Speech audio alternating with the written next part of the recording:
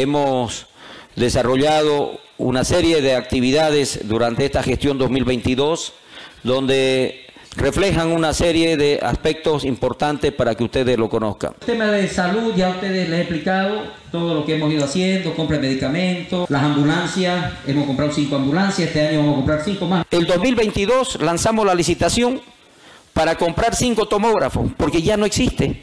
Y la pobre gente que necesitaba ir a hacerse una, una, un análisis, una, un laboratorio, no hay equipos en los hospitales. Por eso es que en esta priorizamos cinco nuevos tomógrafos. Ya están, tenemos tres que hemos entregado y vamos a entregar dos más. Con los cinco tomógrafos va a ver cuántas vidas vamos a salvar.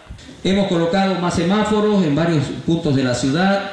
Hemos seguido con el tema de la educación vial, los operativos de control.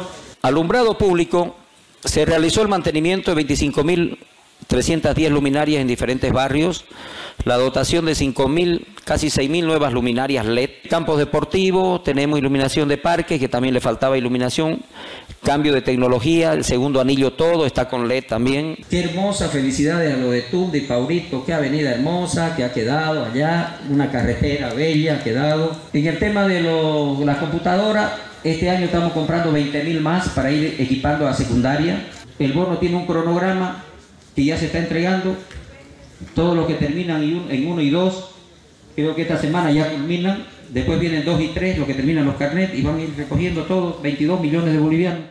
por la emisión de estado financiero.